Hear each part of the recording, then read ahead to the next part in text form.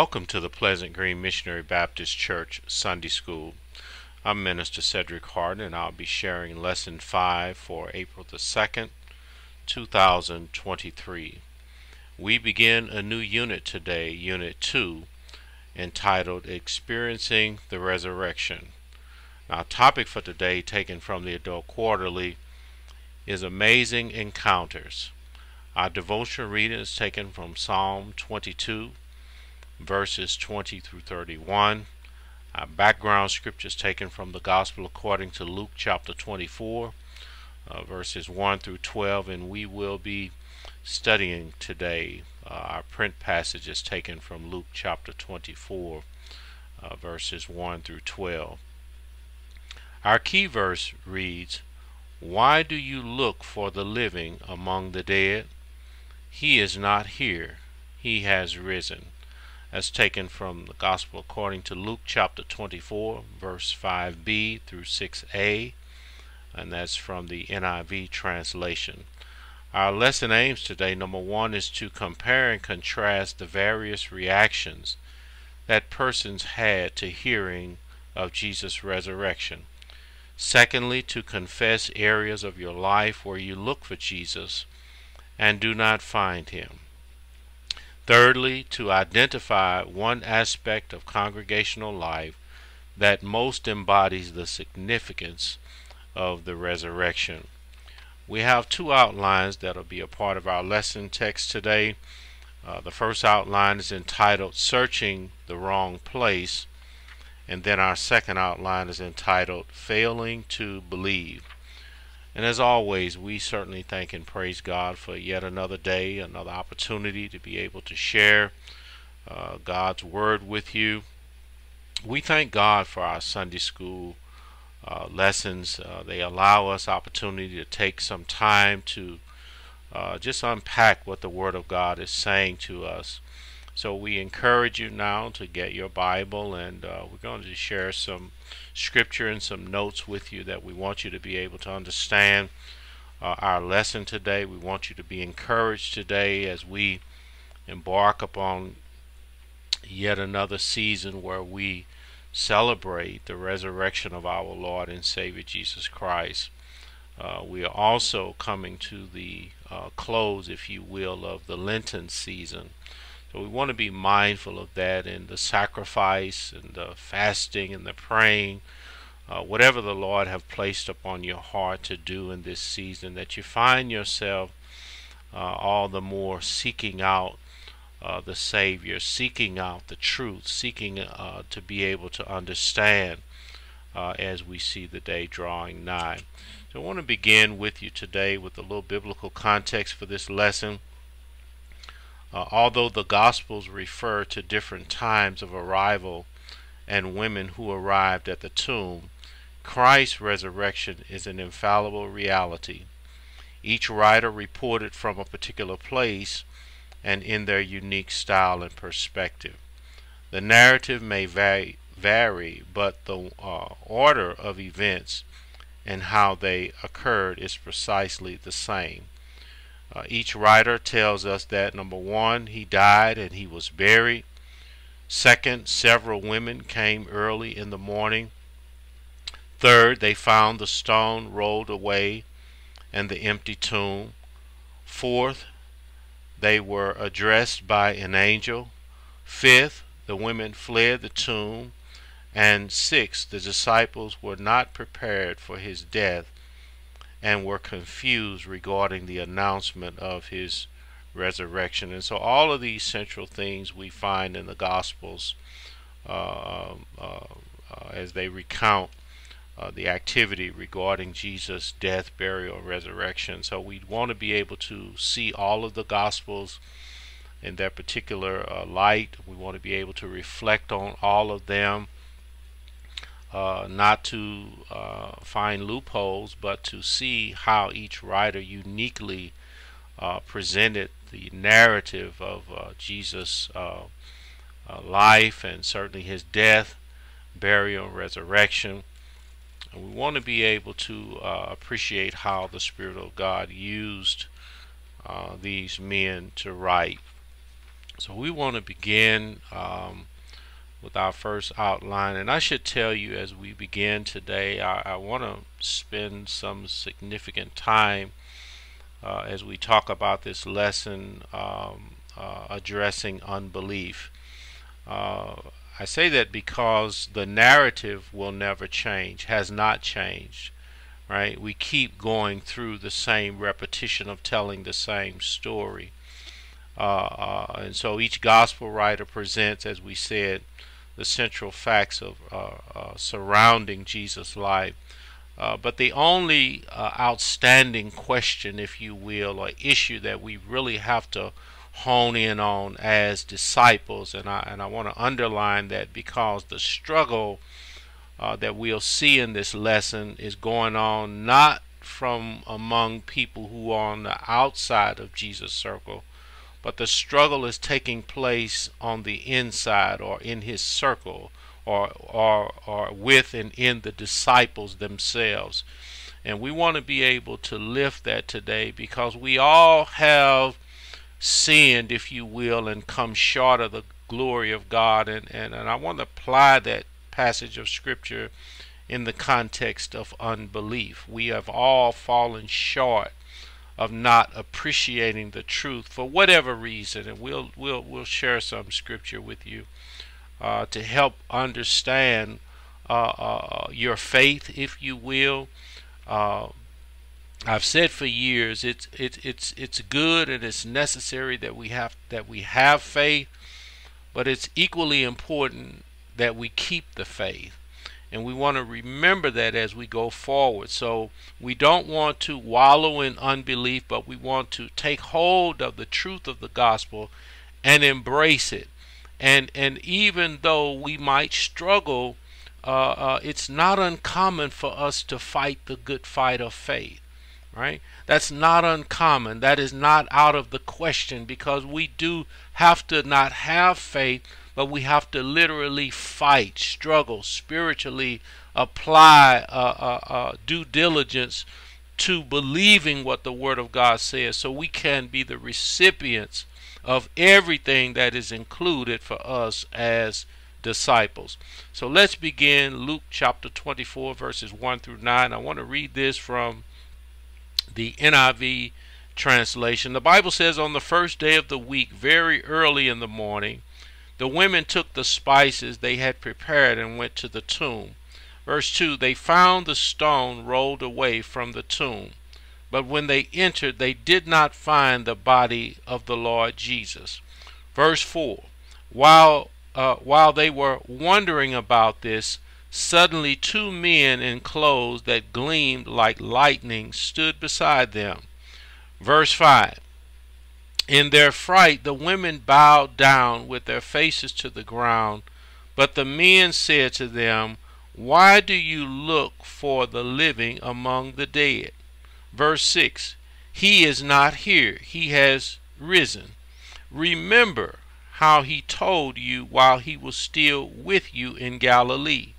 Verse 7 The Son of Man must be delivered over to the hands of sinners be crucified, and on the third day be raised again.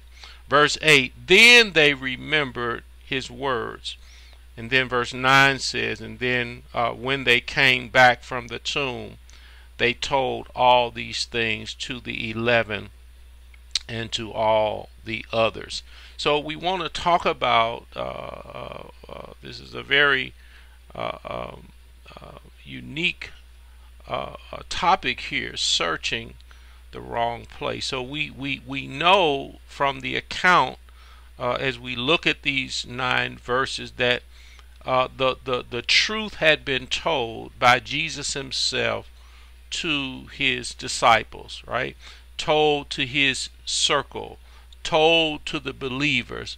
But the crucifixion and all of the, the pain and the anguish and all that transpired surrounding Jesus' death, uh, uh, uh, uh, his crucifixion and subsequent death, and then burial, uh, that uh, they had somehow forgotten what the Lord said to them in the midst of this crisis.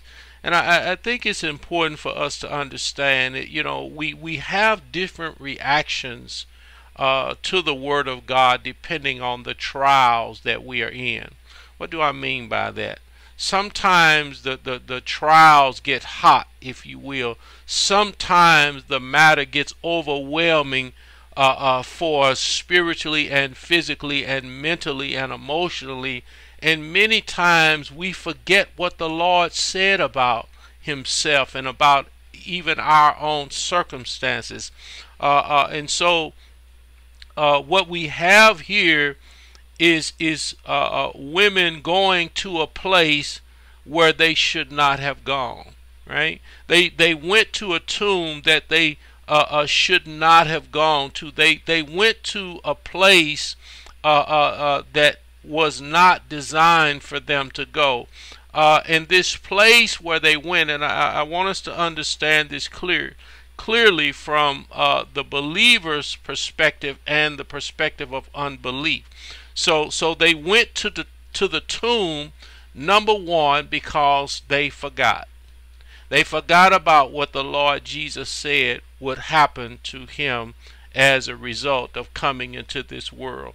They went to the place of the dead because they they they they failed to believe the message uh, uh, uh, that Jesus gave them concerning his life. Uh, uh, so they went to the place based on emotions and not based on faith. They went to the tomb based on a priority to uh, uh, uh, uh to go through this this process of bringing spices and all of this. Look at the preparations that they had put together just to be able to go to the tomb to prepare the body of Jesus. All of this is going on in their spirit that this is where they need to go, but it's all wrong. All of it is wrong. They don't need spices. They don't need to be at the tomb. They don't need to be trying to find the deceased body of Jesus Christ. Everything is wrong. And there are reasons why. And the angels is talking to them they asked them a very central question, and, and it's one that we have to ask ourselves. Why do we act in unbelief? Why do we do that?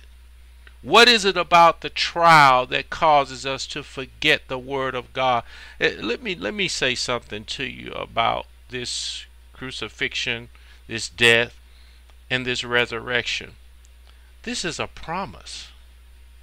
Jesus even through a negative situation or a bad situation or a grief stricken situation, uh, uh, uh, shared all of this information with his disciples, but it's wrapped in a promise.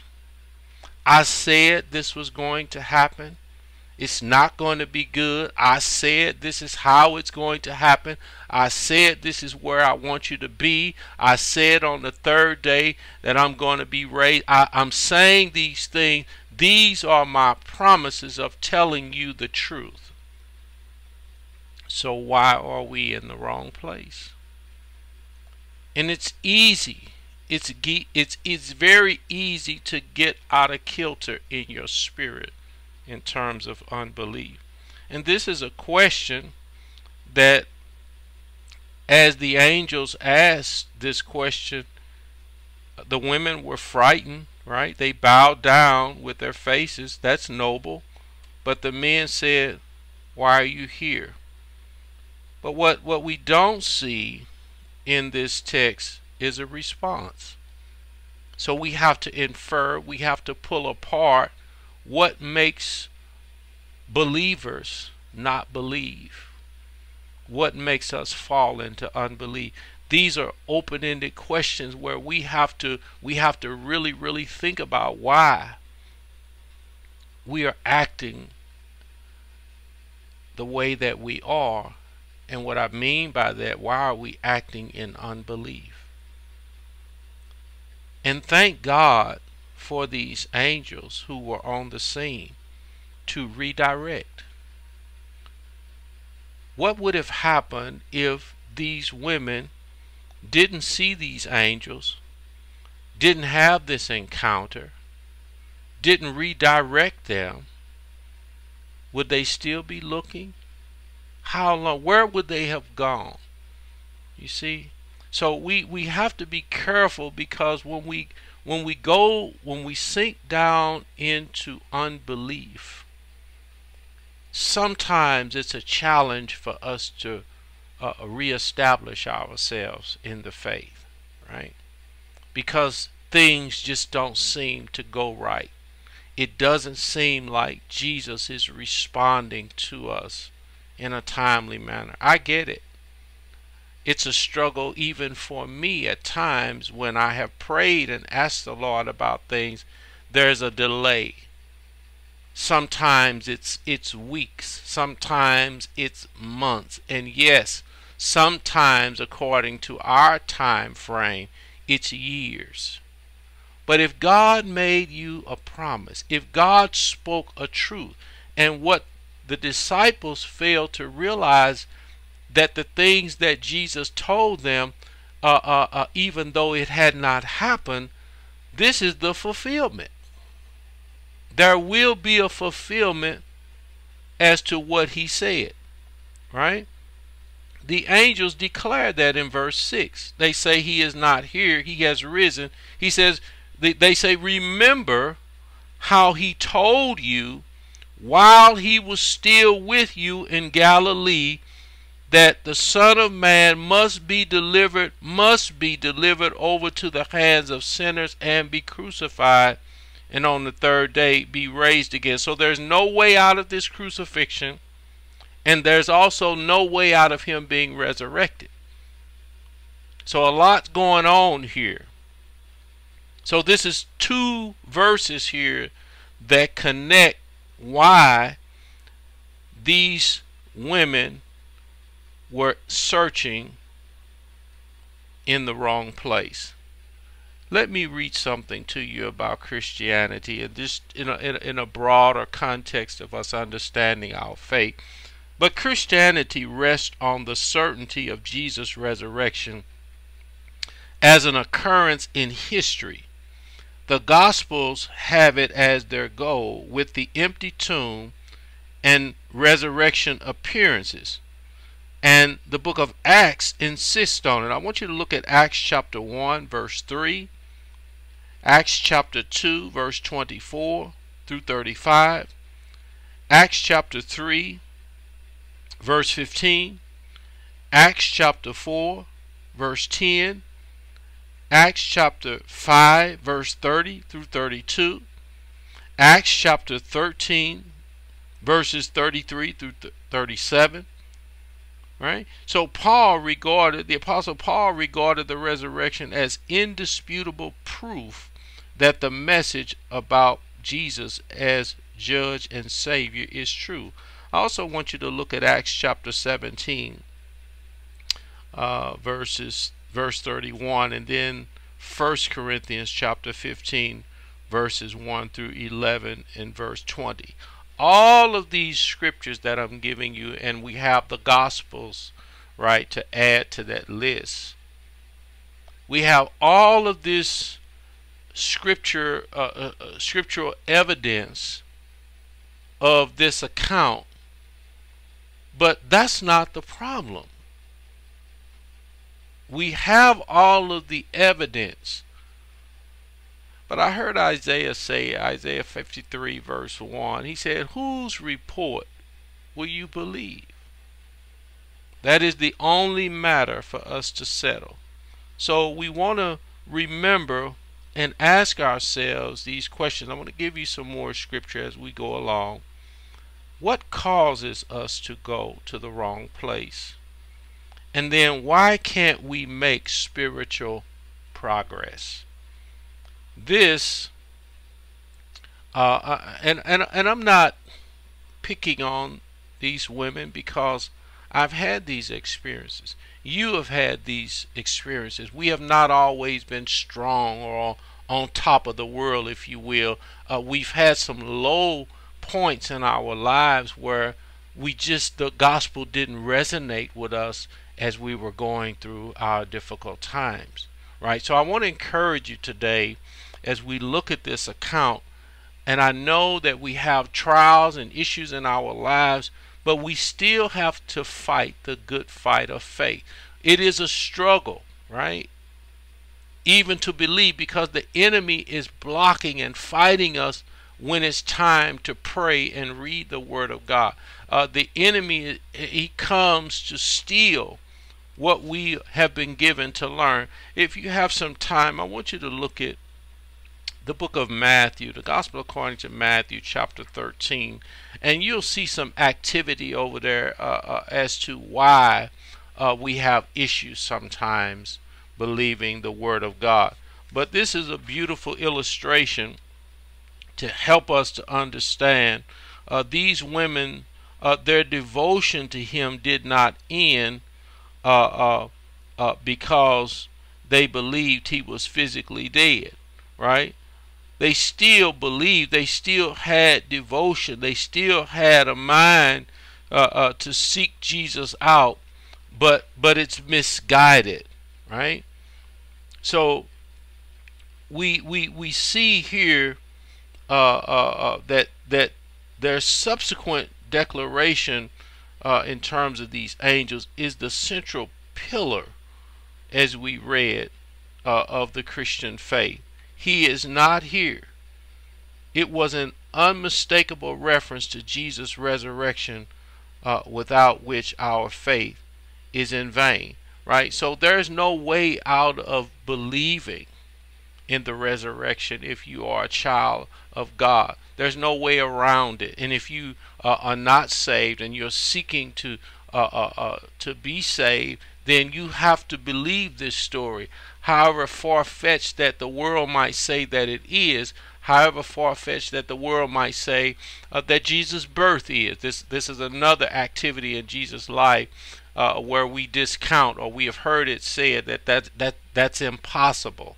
So the birth of Christ is an issue for the world, and the resurrection is an issue for the world. But we have to believe these things because they have come from God the Father. They have come through testimony.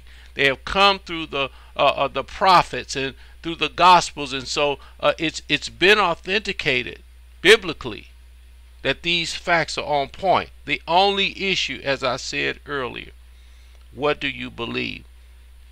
So then, after these angels uh, encountered these women, they uh, uh, they remembered and believed his words. Right?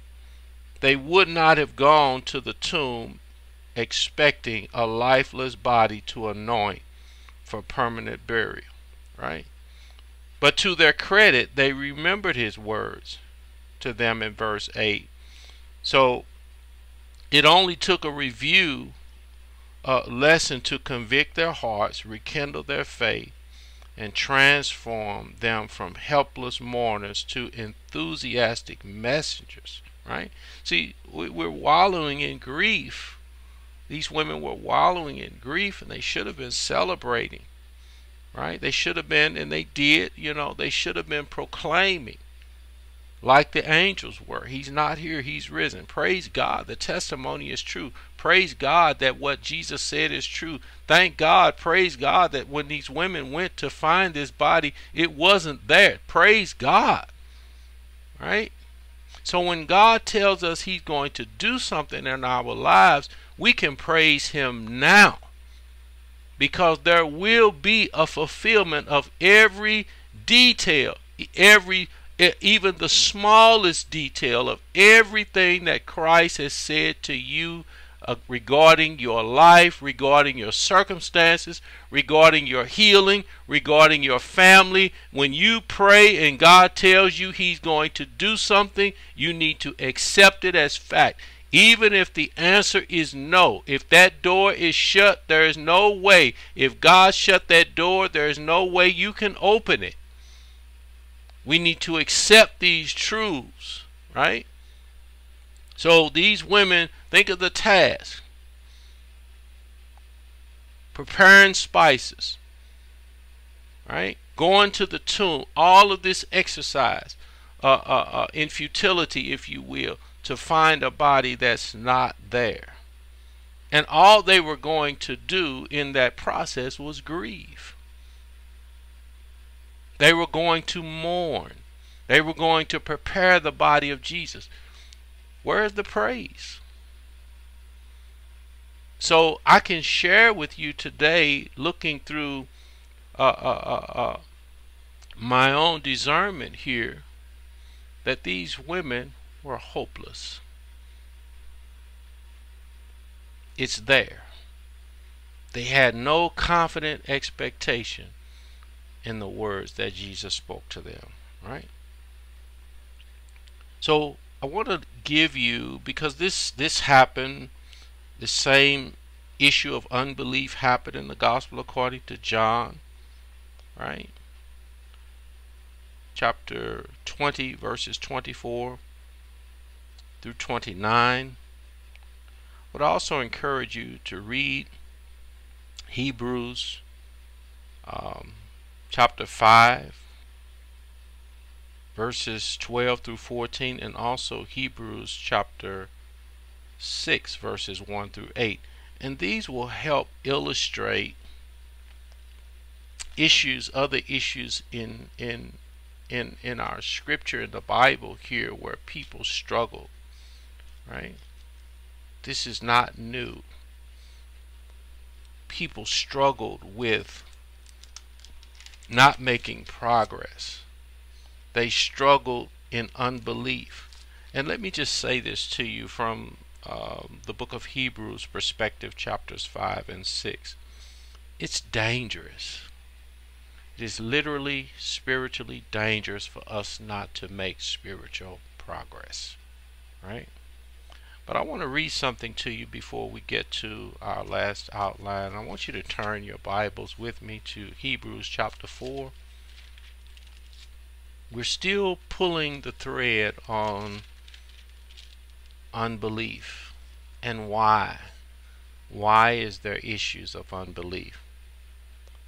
But Hebrews chapter 4, beginning at verse 1, the Bible says, Therefore, since a promise remains of entering his rest, let us fear, lest any of you seem to have come short of it. Verse 2 For indeed the gospel was preached to us as well as to them. Watch this. But the word which they heard did not profit them, not being mixed with faith in those who heard it. So, what is the Word of God telling us? When we hear the Word of God, when the Word of God is preached to us, right? And we are sitting there waiting on a preacher to move us. When it is our faith in what the preacher says, in what the Bible says, that we can move ourselves. So the Word of God is declaring for us today that when we don't mix faith with the gospel, then the gospel cannot help us and we suffer the consequences of unbelief. I hope that makes sense. When we fail to mix faith, our faith, our belief system with the gospel that is preached to us, then the gospel will be ineffective in our lives. Subsequently, we cannot grow. And then we blame others or those who preach to us that it perhaps was not a good message. That's one side of the coin. But let me ask you this question Did you believe when the gospel was preached to you? And is that the reason why the message was not good? So we have to consider these things. There's a two prong effect going here. God is establishing and sending forth the gospel to be preached to a particular audience that He arranges. And then the people's obligation is to respond. It's why we extend an invitation after every message, traditionally, historically. We open the doors of the church, if you will. that's an opportunity for individuals to respond to what they heard. Perhaps they, if they were believing when the message was preached and convicted by the Holy Spirit, then we give opportunity for them to come forward and say, Yes, I believe the gospel. Yes, I accept Jesus Christ as Lord and Savior. Yes, I want to follow Jesus Christ. Yes, I want to be a disciple of Jesus Christ. This is why we do that because it gives the individual hearers a an opportunity to respond in faith. Right? So we have to bring the gospel or, or cause the gospel to come alive in our lives based on our faith. I hope this is making sense to you, church.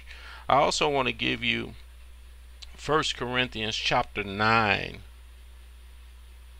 verses 24 through 27 and also 2 Timothy chapter 4 verses 6 through 8. Let's go to our second outline. Failing to believe. Again, from the NIV translation, this is Luke chapter 24, verses 10 through 12.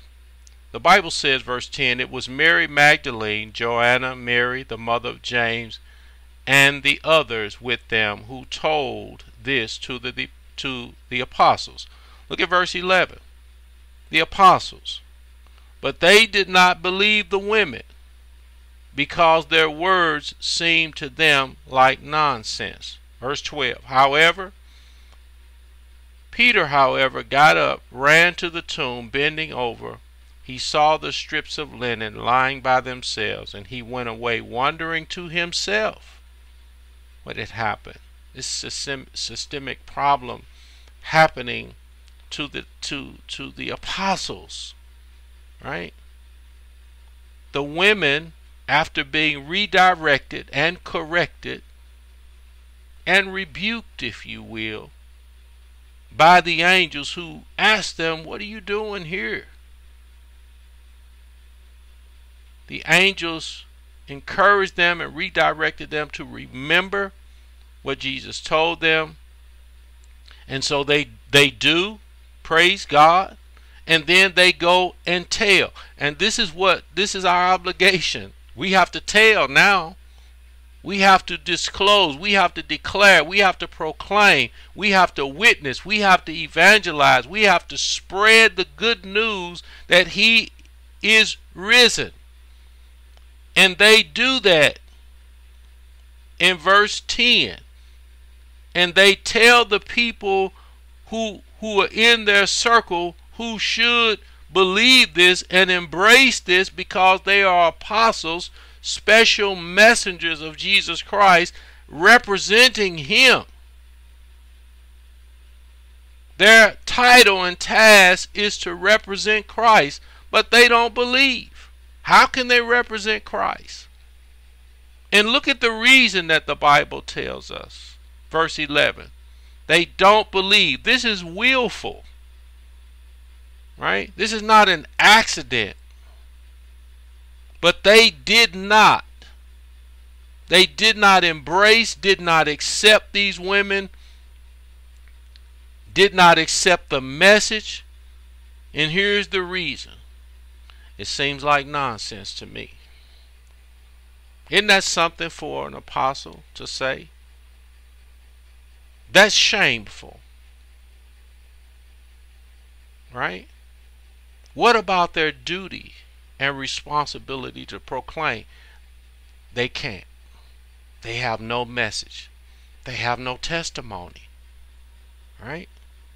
They have willfully blocked the message with unbelief. So this gives clarity to Hebrews chapter 4 verses 1 and 2 that I just read to you.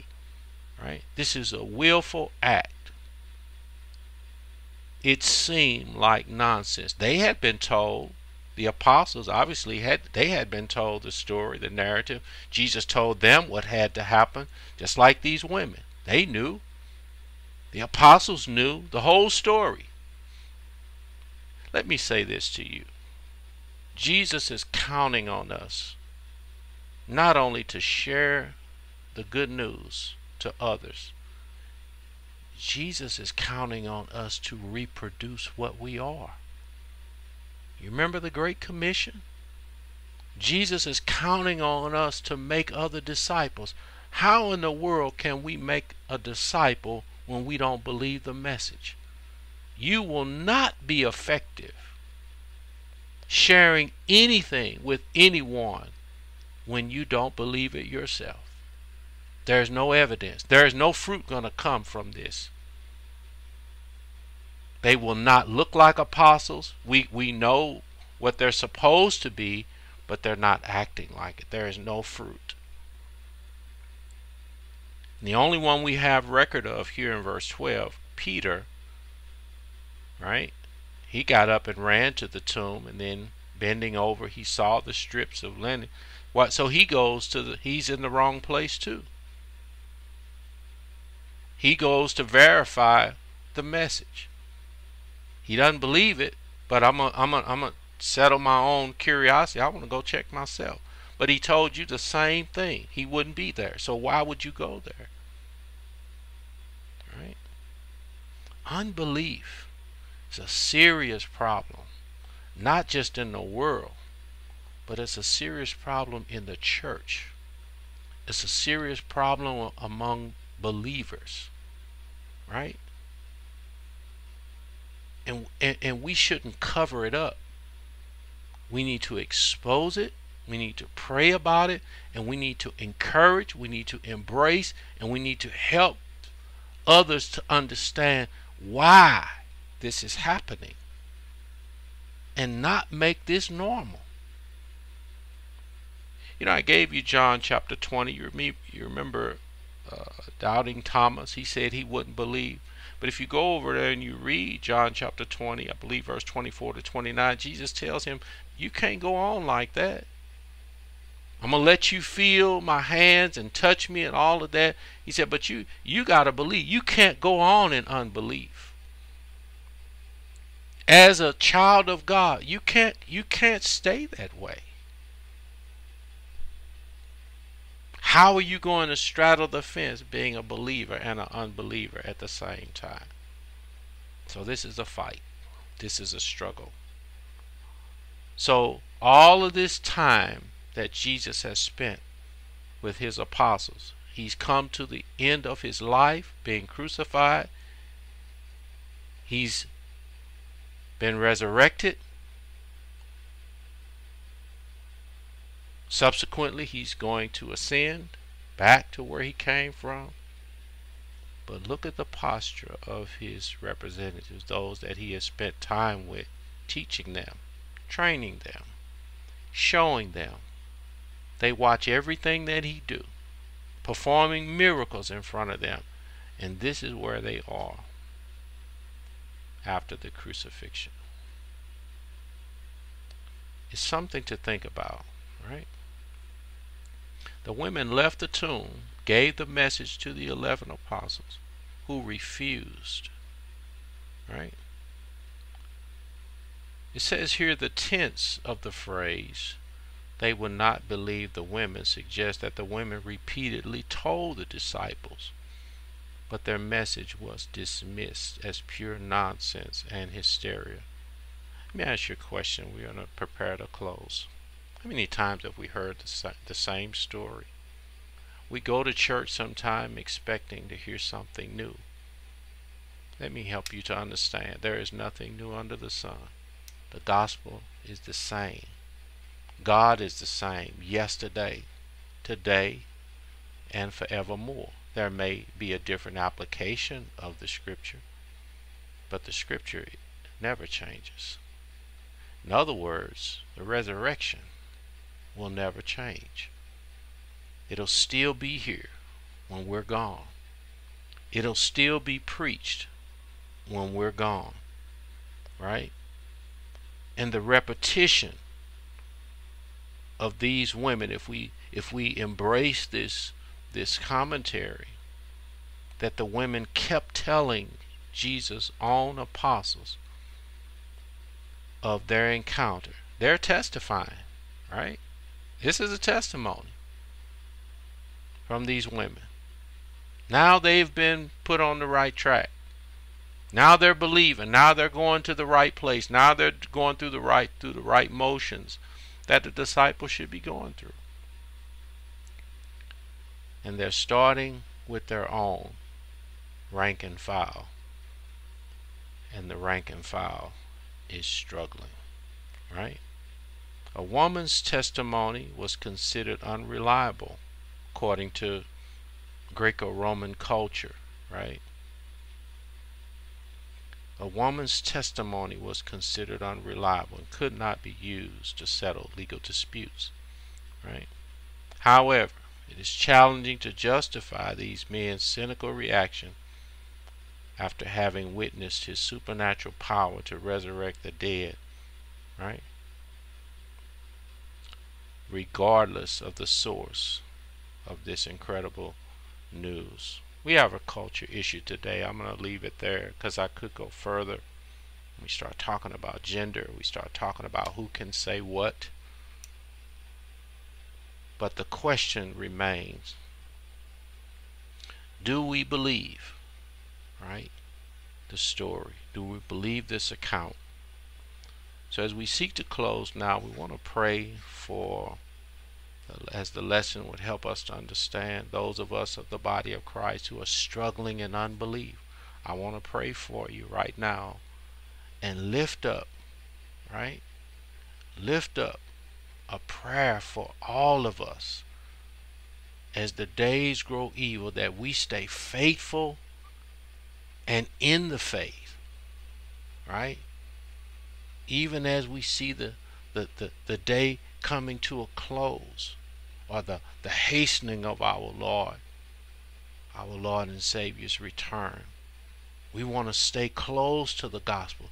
Encourage your fellow brothers and sisters in Christ. When you see them struggling in unbelief, pray for them, talk to them, encourage them, help them, even through Scripture, to understand that is not normal, nor should we make it normal that a disciple picks and chooses what they will believe instead of believing the whole full account regarding our Lord and our Savior, our resurrected Savior, Jesus the Christ.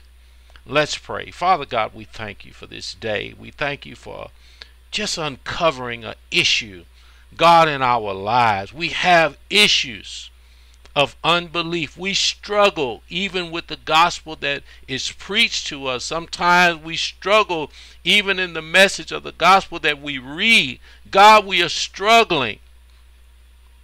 And we are not making the progress as we should as believers, even according to your own promises. We're not bearing the fruit in many times, in many cases of our faith that we should. We are struggling.